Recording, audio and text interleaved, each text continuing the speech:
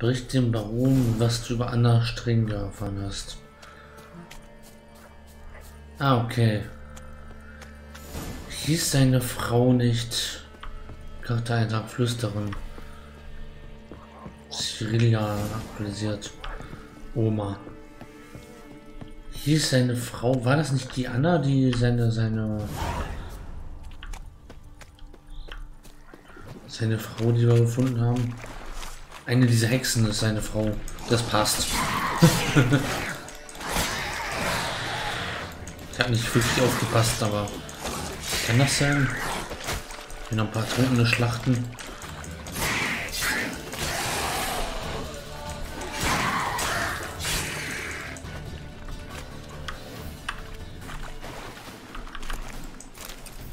Ertrunkenen Hirn. Ertrunkene Zunge. Hm. Macht Zunge. äh, nein. Eindeutig nein. Ähm, ja, hier, das ist klar, das, das ist hier was. Wir haben noch Mutagene und wir haben einen Punkt. Könnten wir mal auf Krafttraining, warum nicht?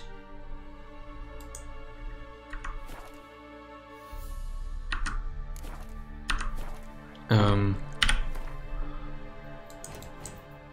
ich wollte Krafttraining ein bisschen leveln.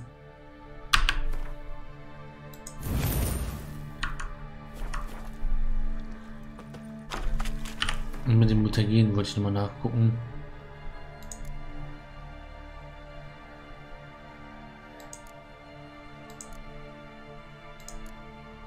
Wo sind die Mutagene drin?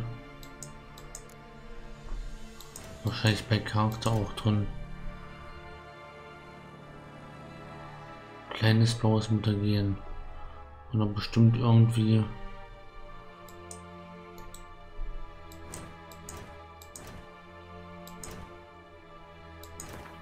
Die Charaktere müssen wir uns auch irgendwann nur noch durchlesen. Und gerade aber eher nicht. Alchemie. Okay, wir könnten neue Tränke herstellen. Das eine Trankrezept, was wir haben. Was ist denn Gegenstand bereits? Okay. Ach, noch ein Ertrunkener. Noch mehr Ertrunkene. Ich glaube, ich hau mal ab. Bevor die mich hier, bevor die mich hier noch killen.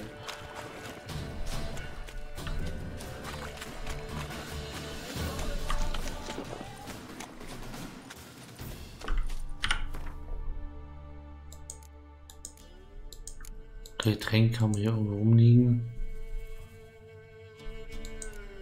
Questgegenstände.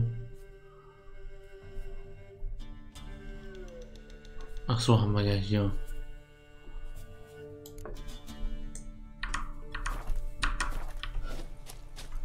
Schade, dass wir den, den dass wir den Zwergenschnaps nicht trinken können. Der ist wahrscheinlich so bitter und so so stark, dass der, dass der nur für Zwerge gut ist und dass den dass den Gira nicht aushalten würde. Und gerade in die Richtung schwimme halt kurz mal rüber. Pferd kommt nach.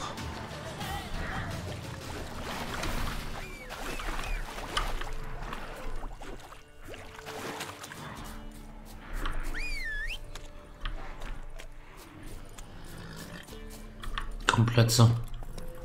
Weiter geht's. Okay, die verpuffen einfach.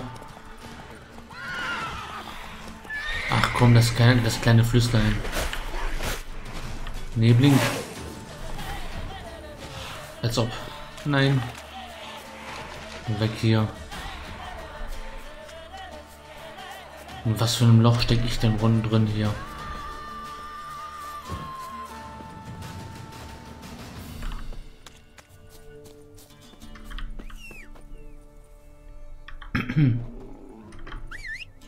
Plätze. steckt der denn? Ach, hier. Na dann. Haben noch Handschuhe hier, Jägerhandschuhe. Fünf Rüstung. Eine Rüstung, okay. Ich tausche mal aus. Eins Rüstung, 13 Rüstung. Okay, vielleicht können wir dann auch, wenn wir beim beim Baron wieder sind, können wir mal hier ein bisschen Rüstung und Rüstung und Schwert verbessern.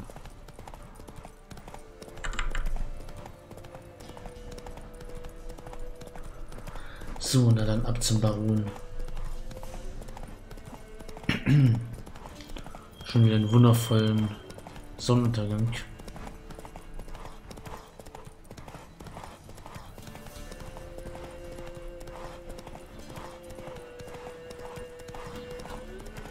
Wie weit ist es denn zum, bis zum Baron? Ist es noch weit?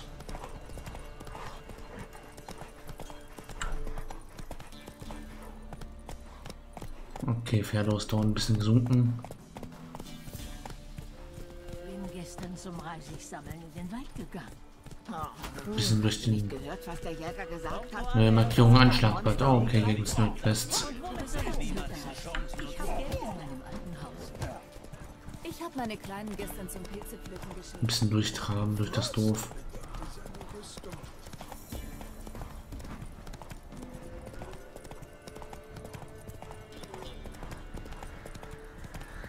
Der hat schon angefangen, mit der Sidequest zu reden.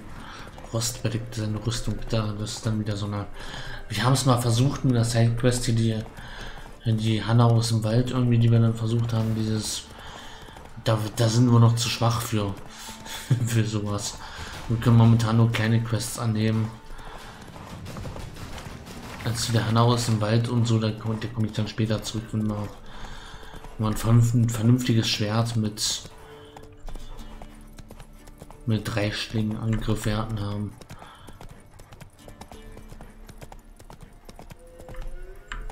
Habe ich glaube ich im letzten Stream schon mal was zugesagt.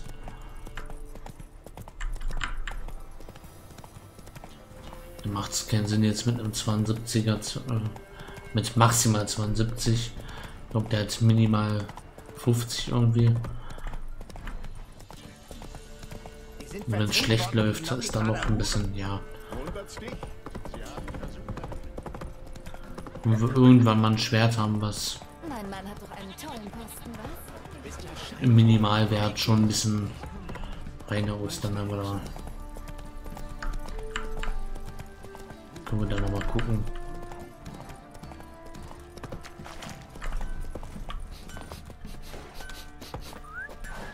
So recht, dass das Schwert in die Rüstung hier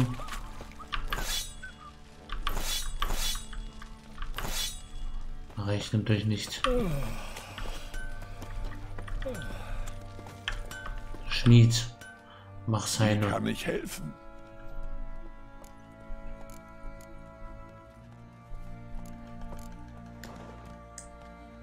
Ich würde mir gerne dein Angebot ansehen.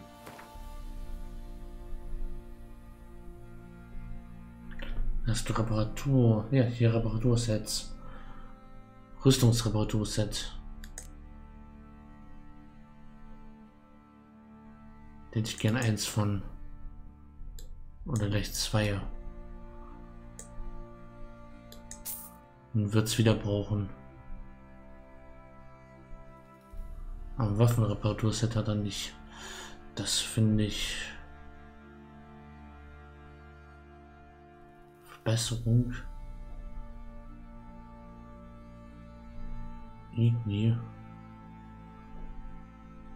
Sollten wir vielleicht mal ein, an, ein, einsetzen. Das war mal. Okay. 60 Rüstung. Kostet aber auch 400. Das kann man sich nicht leisten. Wow. Dann lohnt sich drauf zu sparen. Was willst du dafür? Na komm, dann gib her. Kann man zumindest die Rüstung reparieren.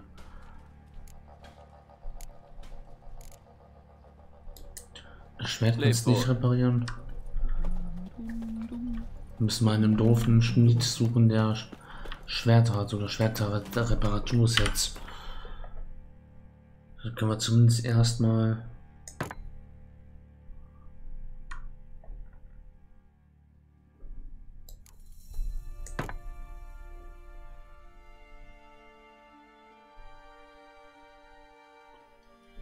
Und 63 Prozent.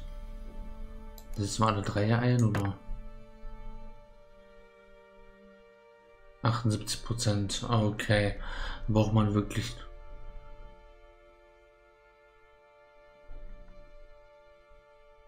Ganz hell ist das noch nicht.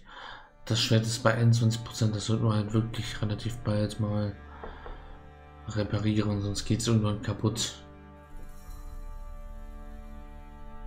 Die Rüstung müsste jetzt in Ordnung sein.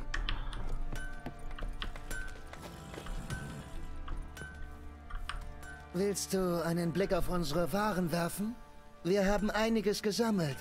Und wird doch schade, wenn die schönen Sachen in Bauernhütten verkommen. Zeig mir, was du hast.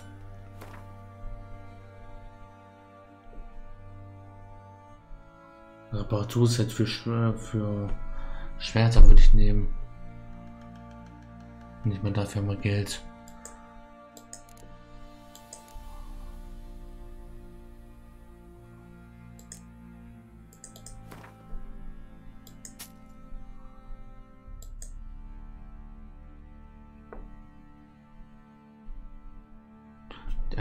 Wir selber noch.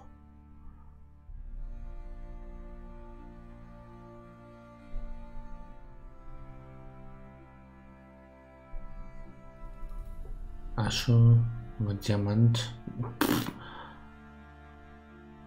Fisch, Fisch. Fischsteak, das ist nicht Diamant. Ich wollte gerade sagen, für Diamantstaub will mir, will mir nur ein zahlen.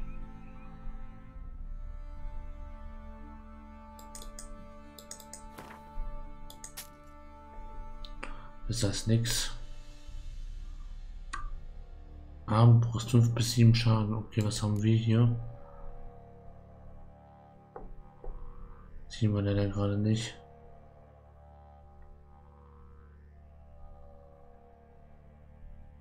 Stumpfe Armbrustbolzen. Nilfgarn Schallklappen, das ist auch nicht schlecht, wenn in unser Pferd ein bisschen investieren. Satteltaschen, Sattel, 50 Ausdauer. Muss mal gucken, wie viel er momentan hat. Adalbert, dritte Karte. Hexausrüstung gibt es dafür. Okay, oha. Folge den Hinweisen auf die Karte, um Hexausrüstung zu finden. Müsste auch Schwerter gibt und so, das ist dann, oha. 62. Muss mal ob ich noch was verkaufen kann. Zum Beispiel das, der, den alten Sattel.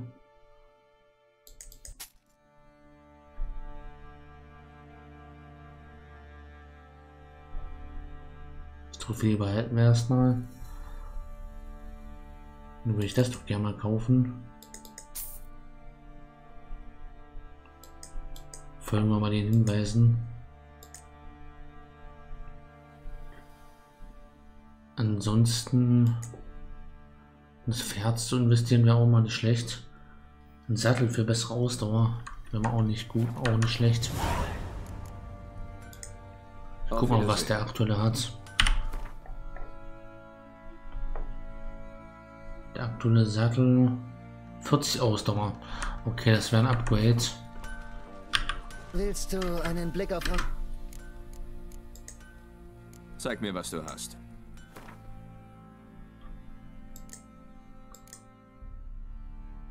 50 Ausdauer. Statt, ja, das, das kriegen wir nicht. Da brauchen wir mehr Geld. Auf Wiedersehen. Müssen wir später nochmal herkommen. kommt kein Monster in deine Nähe, wenn du alle Öffnungen Ob jemand Schwerter hat. Aber wo bekommt man heute noch Knoblauch her? Was wird das uns? Rüstungsschmied. Hier vielleicht. Woher hast du das noch gleich? Na, na, na. Äh? Dorfjungen haben sich zusammen. Haben die Leute nichts gegen deine weiße Wiese? Hier können wir nichts kaufen. Jeder wird überfallen. Und wenn er sich freiwillig gibt, bekommt er einen übergebraten. Okay, ich glaube, wir sollten erstmal zum Baron gehen. Ah, der ist dort. Gegenüber Anna. Wait. Das ist das Ziel oder was?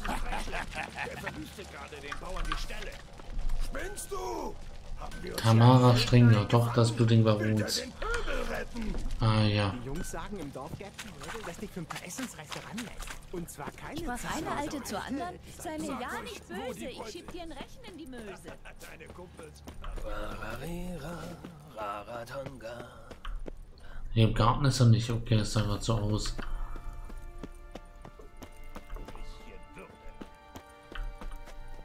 Hier waren wir noch nicht.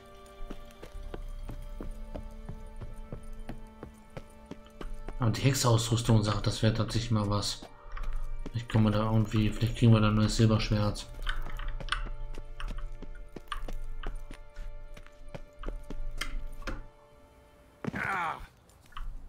Ui, sollte mal meditieren.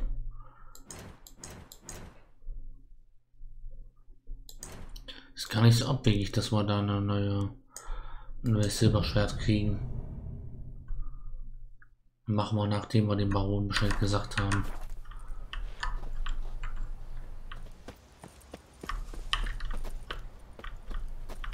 Was gab's hier? Okay.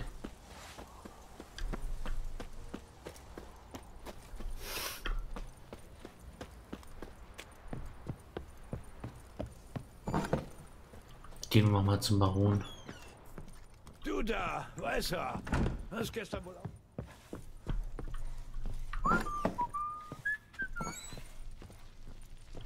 Guten Tag, Herr Baron.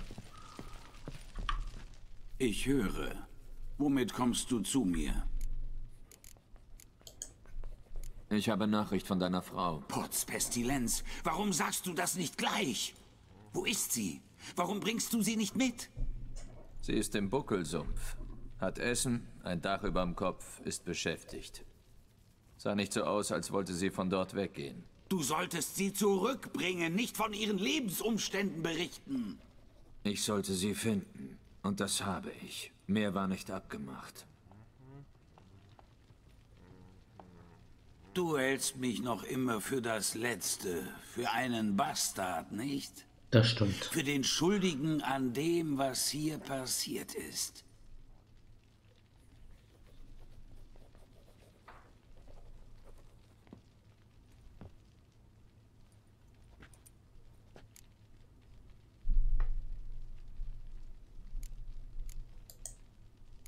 Ja, das denke ich tatsächlich.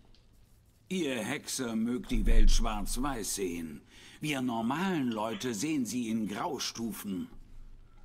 Wie meine Familie. Ja, aber du bist halt schwarz. Du bist halt ganz, ganz, ganz, ganz dunkelgrau.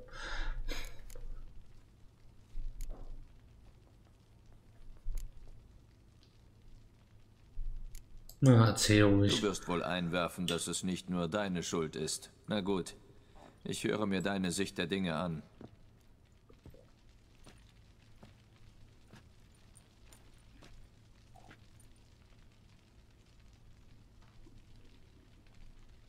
Mit Annie. Es war Liebe auf den ersten Blick. Sie versorgte meine Speerwunde aus der Schlacht von Angkor. Als ich genesen war, hielt ich um ihre Hand an. Sie weinte vor Freude. Bald war Tamara geboren und dann ging ich nach Zidaris.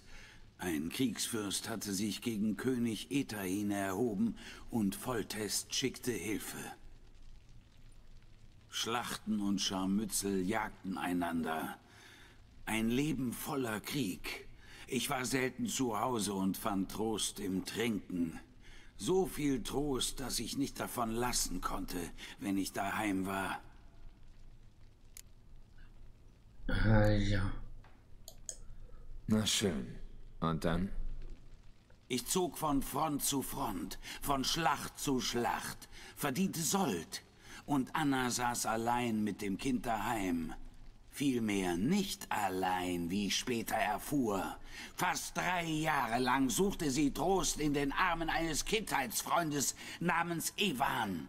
So ein Hundesohn. Verdammt, verstehst du nicht? Einen Fehltritt hätte ich ja verziehen. Verstehe sie. Jahrelang betrogen. Hat sich einen Dreck um mich und meine Liebe geschert. Er nie da, er nie, das ist äh, er immer im Krieg in der Schlacht und kommt besoffen nach Hause am Abend. Das, das kommt immer, wenn er mal da ist, besoffen, wenn er mal in, den Sinn hat. Das ist.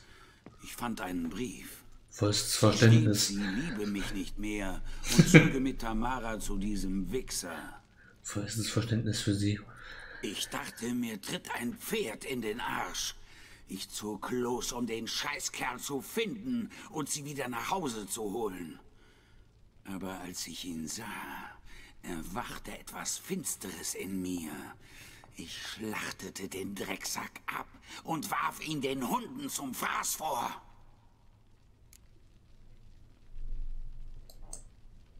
Anna war wohl nicht gerade erbaut. Das ist die größte Untertreibung aller Zeiten. Sie wurde hysterisch, warf sich auf mich, trat und kratzte, griff sich ein Messer. Das wäre mein Ende gewesen, wäre ich nicht weggesprungen. Ich schlug sie zum ersten Mal. Ich musste sie beruhigen. Ich hatte keine Wahl. Von da an war alles unwiderruflich anders. Anna versuchte oft, sich und mir das Leben zu nehmen. Sie stichelte, reizte mich, verhöhnte mich. Wird von ihrem Mann ich geschlagen. sollte sie wohl wieder schlagen. Sie hm. schrie, dass ich ihre Liebe und ihre Hoffnung zerstört hätte und sie doch gleich umbringen könnte. Warum das sie nur verletzt hat, warum sie sich nur schlecht fühlt. Blumen und Geschenke. Es war ihr gleich. Nach zwei Jahren war ihr Zorn zu ja. Gleichgültigkeit geworden. Manchmal durch ihre Hysterie unterbrochen. Hysterie. Durch meine Vom Mann geschlagen. Hysterie. Ich begreife nicht, dass ja. wir diese Jahre überlebt haben. Nun weißt du, dass nicht alles so war, wie es schien. Ich meine, im Mittelalter war es waren die Situationen ein bisschen anders, aber ich meine, das ist, die Menschen waren trotzdem dieselben. Das ist, ich meine, das ist, es war vielleicht in der Gesellschaft anerkannt, dass du deine Frau schlagen durftest irgendwie im Mittelalter. Vielleicht ja, vielleicht, vielleicht wurdest du dafür nicht verurteilt in der Gesellschaft, aber das wenn du deine Frau geschlagen hast, hast das ist, das ist deine, ist, lieber Baron, das ist, das, ist, das macht's nicht anders. Das ist, das Frau schlagen war auch im, das ist, auch im Mittelalter hat die, das ist, die, die Frauen waren im Mittelalter auch nicht schmerzlos. Das ist, das ist ja, ähm,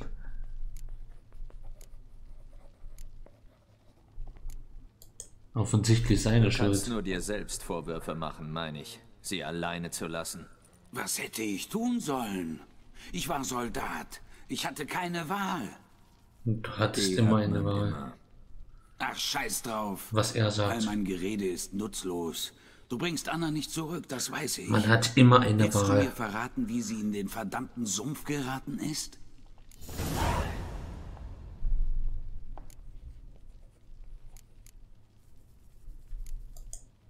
Sie hat mit den Mumen einen Pakt geschlossen und...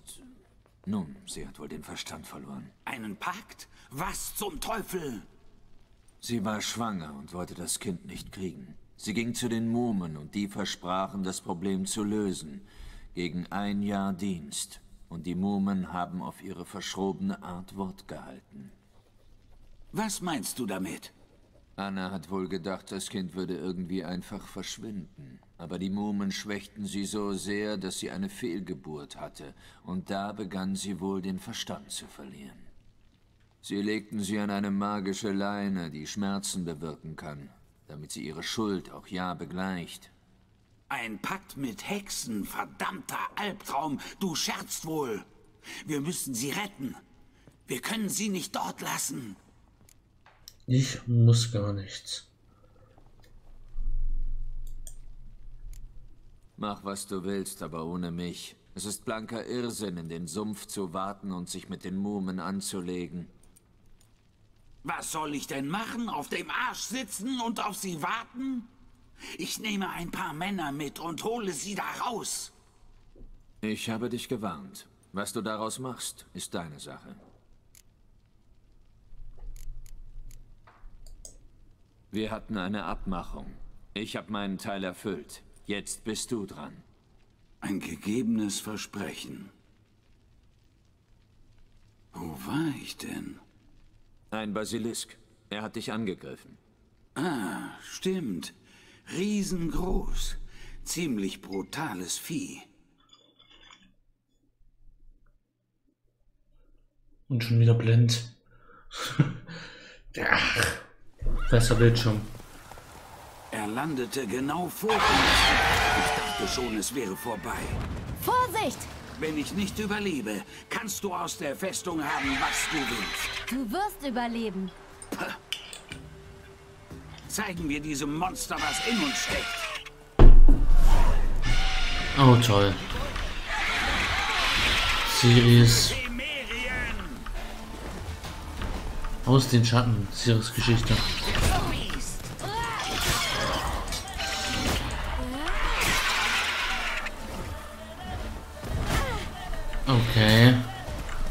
Bosskampf.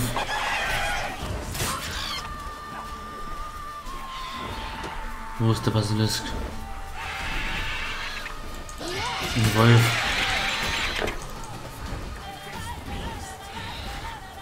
Ihr habt euch nichts zu essen, oder?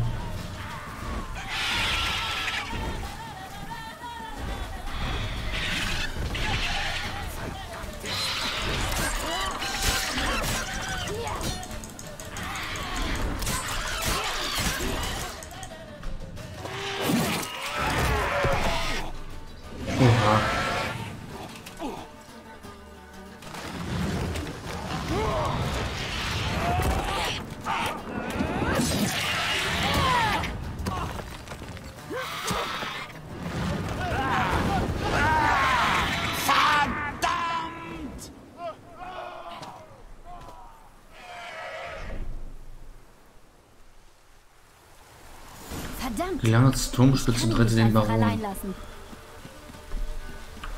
Oh je. Äh, wie wär's mal mit Meditieren? Ne, können wir natürlich nicht. Ach, wir heilen uns von selbst.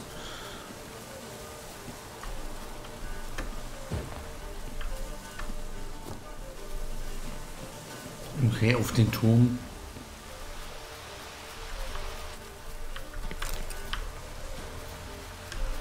Oh, Prof spielt Zebro. Was auch immer das ist. Ich komme.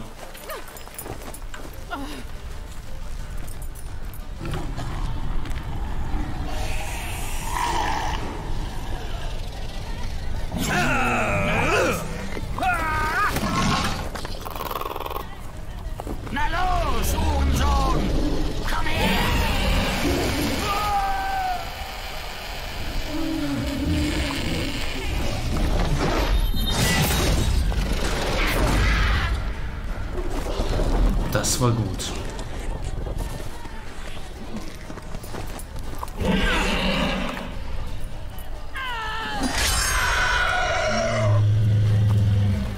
Das ist noch besser.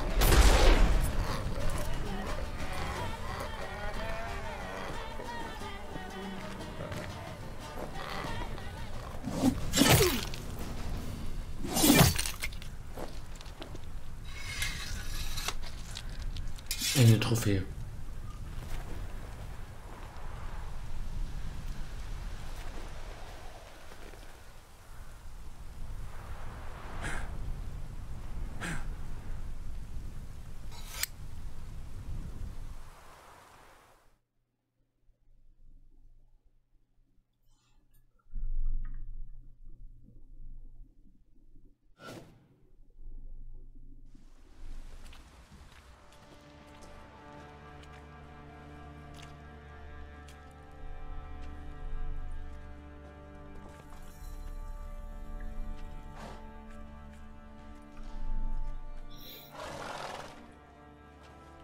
Hast du alles?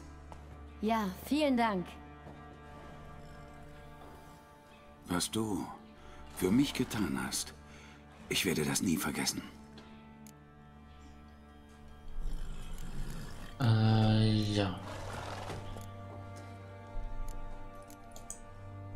Hoffentlich nicht. Hat mich in große Schwierigkeiten gebracht. Was meinst du damit? Ich muss fliehen. Ich werde von Geistern verfolgt. Von der wilden Jagd. Es war dumm, die Macht anzuwenden. Ah, ja. Jetzt haben sie meine Witterung aufgenommen. Die wilde Jagd?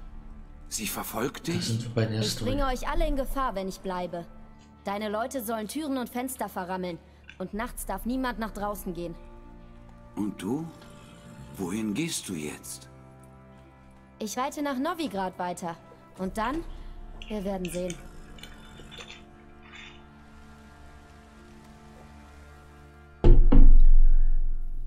Aha, nach Novigrad. Und so war es also. Sie stieg aufs Pferd und ritt davon. Ohne sie war es hier ganz schön einsam.